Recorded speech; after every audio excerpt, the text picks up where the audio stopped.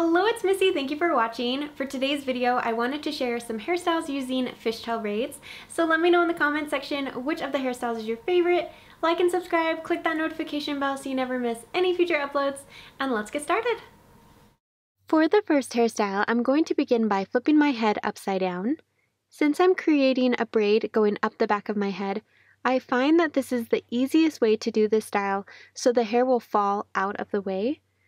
So I'm going to divide off a small section of hair at the nape of my neck to use for my braid. And I'm dividing this section into three pieces to begin a regular three strand braid. And then I'm going to combine the middle and right strand together so I have two sections for the fishtail braid. So to create the fishtail braid, I'm going to be taking small sections of hair from one side and cross them over and add them into the opposite side, while also incorporating new sections of hair into the braid. So I'm dividing off a small section of hair from the left side, crossing it over to the right side. Then I'm picking up a new section of hair from next to the braid and crossing it over to the opposite side as well. Then I'm going to divide off a new section of hair from the right side and cross it over to the left side.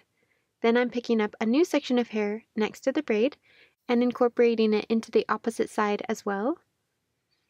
And I'm going to continue this pattern, creating a French braid style fishtail braid crossing small sections from one side over to the opposite side, while also incorporating new sections of hair into the braid. So I'm taking a small section from the left side and crossing it over to the right side. Then I'm picking up a new section of hair and incorporating it into the right side section as well. Then I'm dividing off a small section of hair from the right side, crossing it over to the left. Then I'm picking up a new section of hair and incorporating it into the braid, crossing it over to the left. Then I'm going to divide off a new section of hair from the left side and cross it over to the right side.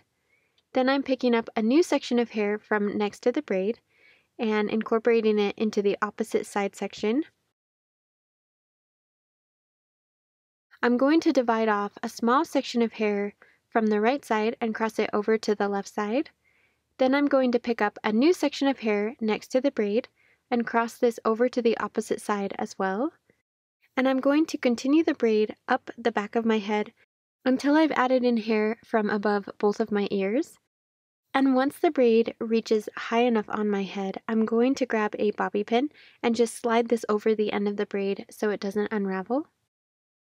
And now I'm going to create the bun portion of the hairstyle. So I'm going to flip my head back, right side up, and brush the rest of my hair together at the crown of my head, being very careful with the braid that's at the back and I'm going to create the bun right at the crown of my head. So I'm going to take my hairband and wrap this once over the section. Then I'm going to bring all of the hair forwards and spread the hair around the hairband, kind of finding the center of the ponytail. Then I'm going to wrap the hairband twice more over the hair to create a bun shape around the hairband. And then I'm just going to pull sections of the bun in opposite directions, and this will tighten the bun against my head while also making the sections a little bit bigger and fuller. Then with the ends that are left sticking out, I'm going to combine all of these together at the front of the bun. And I'm just going to loop this section back towards the base of the bun and tuck the hair around the hairband to hold it in place. But then I'm just going to pull on sections of the bun to close off any gaps in the hair, add some volume at the top, and then just smooth down any flyaways with some hairspray. For the ponytail hairstyle, I'm going to begin by parting my hair in a deep side part on the right side. I want the majority of my hair on one side so I can use it to make the braid a lot bigger. So I'm going to divide off a small section of hair right next to the part and split this into three smaller pieces. I'm going to begin a regular braid, but I'm going to be crossing the side strands under the middle strand so the braid will sit out on top of my hair. So I'm going to cross the two side strands once under the middle strand, and then I'm going to switch to a fishtail braid. So I'm combining the middle and the right strands together. So now I have two sections of hair for the fishtail braid. Now I'm going to begin crossing small sections of hair underneath and add them into the opposite side and then also incorporate new sections of hair into the braid as well.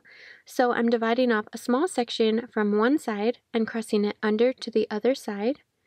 Then I'm going to pick up a new section of hair from my head and cross it underneath and add it into the opposite side as well. So I'm taking a small piece from the left side and I'm crossing it underneath and adding it into the right side. Then I'm picking up a small section of hair next to the braid and crossing it under, adding it into the right side as well. Then I'm going to take a small piece from the right side and cross it underneath, adding it into the left side section.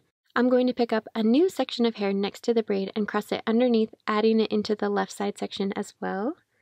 And I'm going to repeat those steps, continuing the braid by dividing off small sections of hair from one side and cross them under to the opposite side, while also incorporating new sections of hair into the braid as well. And I'm creating this braid down the left side of my head along my hairline. And I want the braid to go into the ponytail. So in order to make sure that happens easily without any bumps in the hair, I'm going to continue the braid down towards my left ear. And then once the braid reaches my ear, I'm going to stop incorporating sections of hair into the braid and just continue braiding the section in a regular fishtail braid. So I'm still taking small sections of hair from one side and crossing them under, adding them into the opposite side, alternating between the left and the right side sections of hair. And once the braid goes down far enough that it will reach into the ponytail, I'm going to go back over the braid and gently pull on small sections along the sides of the braid so they slide up and out of the braid. This will make the braid look wider, so I'm going to go up and down both sides of the braid, pulling on the hair so the hair slides out of the braid, and this is what will make it look a lot more full. And then once the braid is as big as I would like, I'm just going to take a bobby pin and slide it over the ends so it doesn't unravel. Now I'm going to combine the rest of my hair together at the back of my head where I want my ponytail to sit. And then I'm going to add in the braid last and tie it all together using a hairband. Once the ponytail is all tied off, I'm going to create another fishtail braid with a section of hair from the ponytail. This is an extra step, but it will make it look like the braid from your head is continuing into the ponytail and down the ponytail, which I think looks really cool. So I'm just dividing off a small section of hair, and then I'm splitting it into two smaller sections. And I'm going to take a small piece of hair from one side and cross it under to the opposite side.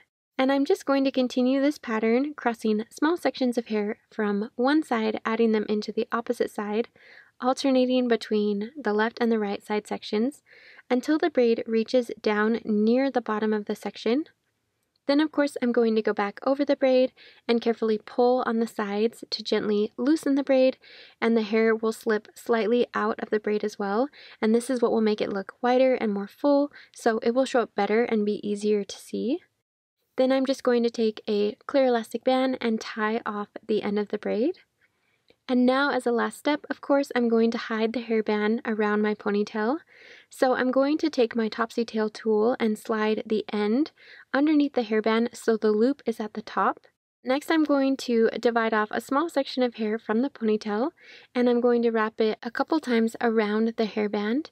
And then I'm just going to bring the ends through the loop at the top of the tool and then while holding the hair in place through the loop, I'm going to pull the end of the tool down so the loop at the top slides underneath the hairband.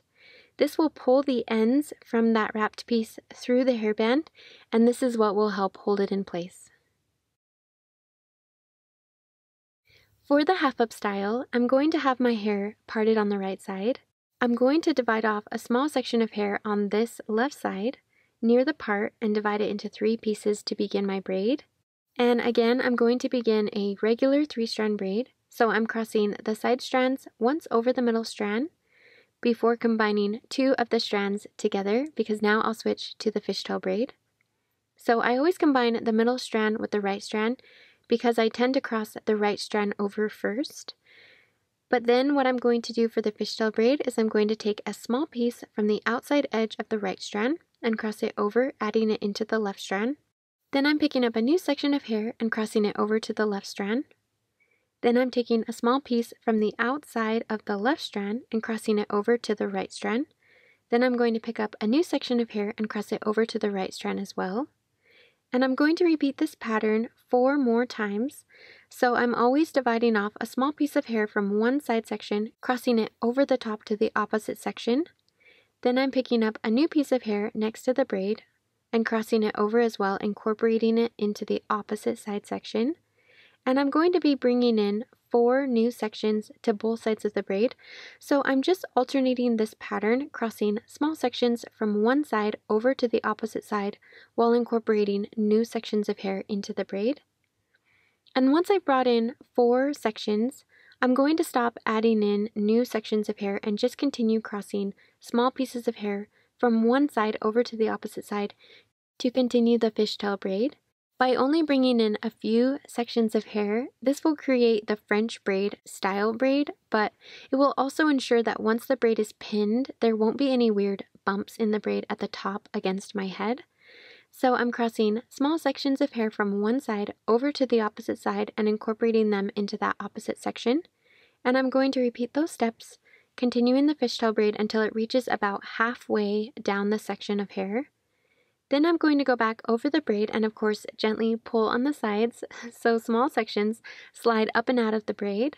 This will make the braid look wider and a little more casual instead of being really tight and small. So I'm going to go up and down both sides of the braid, gently pulling on small sections to make the braid look more full. And once the braid is all pulled apart, I'm going to lay it against the back of my head and pin it in place with some bobby pins I like to slide my bobby pins in through the middle of the braid, going up along the braid so they don't show. This will also help make sure that they don't snag other sections of hair as well and get caught in the bobby pin. And then I'm just going to lay some hair from the top of my head over the end of the braid. Thank you so much for watching. I hope you enjoyed today's video. Let me know in the comment section which of the hairstyles was your favorite. And if you like videos like this one, make sure to click the thumbs up or the thumbs down. Either way, it helps me out. Be sure to subscribe, click that notification bell, then you'll never miss any future uploads. And I will see you next time.